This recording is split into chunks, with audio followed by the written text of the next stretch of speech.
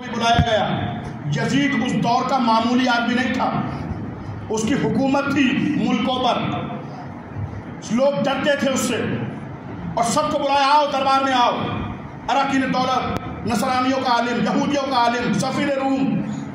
और दरबार भर गया। जो करबला गए हैं, वो मेरी तारीफ़ करेंगे। यजीद का दरबार, जो शाम गए जाके देखा होगा उन्होंने। कि कितना बड़ा दरबार है उसका। पूरा दरबार भरा हुआ था और ऊंचाई पे बैठता था वो। यजीद और चौथे माम हाँ पहले एक बात समझ लीजिएगा कि ये किसका बेटा है? अली का बेटा। लेकिन आप जानते हैं, ये जितने दरबार में, यजीद के दरबार में खड़े हैं, ये प्रोपगंडा क्या है? ये शाम की हुकूमत ने क्या प्रोपगंडा किया है? क्या कहा था कि अली बहुत मुतकी है? अली नवाजी है? नहीं अली को गलत बना के पेश किया था लोगों के जहनों में। तारीख तो पढ़िए तारीख में ये तक मिलता है कि शाम के हाकिम ने रात को अपने सिपाही भेजता था और घरों से औरतों के बच्चे उठवा लेता था। और जब वो बच्चे लेके भागते थे और जब वो माँ होश में आती थी हाय मेरा बच्चा और घर से ताक के बाहर निकलती थी तो कुछ बिके हुए मुल्ला भी थे।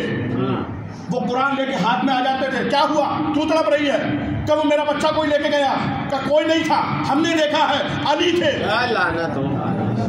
अली लेके गए हैं तेरे बच्चे को। अब बताइए ऐसा सहन जिसका बनाया जा रहा? कि जिसके सहन में ये बताया जा रहा है। और वो माँ अपने बच्चों को अपनी औलाद को बताती है समझाती है कि बेटा देखो तुम्हारा एक भाई था। उसको अली माजल्ला माजल्ला लेकिन तब जुमले है तो मैं कह रहा हूँ कि अली जैसा डाकू ले गया था तुम्हारे बच्चे को। तुम्हारे भाई को कत्ल कर दिया। ये जिस बच्चे को माँ समझा रही है, अब ये करबला में, या शाम के वक्त जब बीबियाँ कैद हुई हैं, कम से कम चालीस, पैंतालीस या पचास का। अब जिसका जहन पचास साल से ये बना हुआ है कि अली माजल्ला डाकू है? अली माजल्ला चोर है। और ये बनाया गया था कि अली बेदीन है, अली तारक सलाद है, अली लामजहब है। ऐसा लोगों का जहन बना दिया गया। यही तो वजह थी कि जब अहले हरम का काफिला आया और लोगों को पता चला ये अली की औलाद है, कोई पत्थर मार रहा था। कोई आग बरसा रहा था। सुनिए, ये ऐसा माहौल, और ऐसे माहौल में दरबार में आए चौथे इमाम। अब सब दरबार में भरा हुआ। और यजीद मलून ने बुलाया और बैठा। और तख्त के ये जो मिंबर है, इसके बराबर में चौथे इमाम को बिठाया। हाथों में हथकड़ियाँ पाँव में गड़िया है बैठे हैं इमाम मजबूर न समझिएगा बैठे हैं इमाम अब यजीद मलून ने कहा उसका एक खतीब था मलून खतीब जो बनी उमैया की तारीफ़ करता था अहले बैत की बुराई बयान करता था। लाना तो बेशुमार। उससे कहने लगा ए खतीब मिंबर पे जा और हमारी तारीफ़ कर इनकी तस्लील कर। चौथे माह की तरफ़ इशारा करके उसने कहा इनकी तस्लील कर। खतीब मिंबर पे पहुँचा। जैसे वो मिंबर पे पहुँचा तो उसने बनी उमैया का नमक पूरा अदा किया। बनी उमैया की तारीफें की। वो तारीफें की जो तारीफें थी नहीं। और चौथे इमाम सब्र करते रहे। और वो बनी उमैया की तारीफें बयान करता रहा।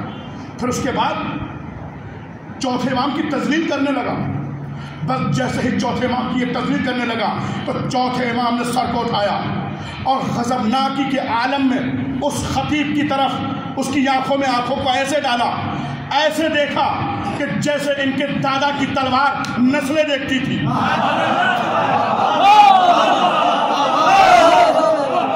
और इमाम ने डांट के कहा, खामोश!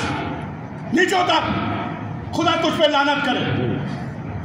और यजीद की सरासी खुशी के लिए तू अल्लाह का गजब और जहन्नुम खरीद रहा।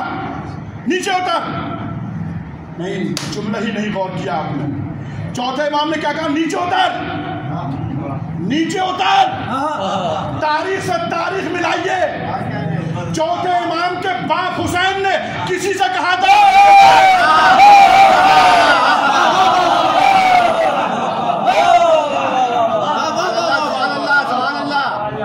मेरे बाबा के से। आज चौथे इमाम का रहा उतर। वो काफ़ी लगा घबराने लगा। उतर, आया मेंबर से।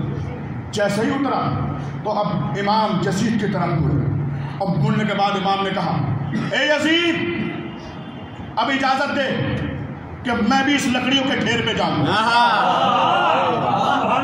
अब इसकी तस्वीर बाद में करूँगा। पहले जुमला समझिए। चौथे इमाम ने क्या कहा ए यजीद ए यजीद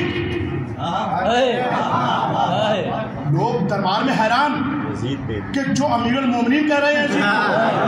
क्या कोई खलीफा कह रहा है? कोई अमीर मोमिन कह रहा है? चौथे इमाम ने ना खलीफा कहा ना अमीर मोमिन कहा। डायरेक्ट और यजीद।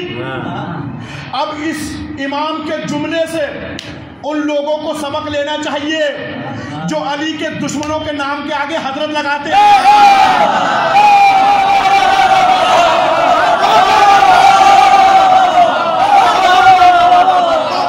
इसकी सीरत पे अमल कर रहे हैं दरबारियों की या इमाम की इमाम ने कहा यजीद अब मुझे भी इजाज़त दे मैं लकड़ियों के ढेर में जाऊँ? मौला, ये बनी उमैया की जामा मस्जिद का मिंबर है। आप कह रहे हैं लकड़ियों का ढेर कहा मैं दुनिया को बता रहा हूँ? जिस मिंबर से हमारी मज़ा हो, वो मिंबर है। जहाँ से हमारे फजाइल बयान ना हो, वो लकड़ियों का ढेर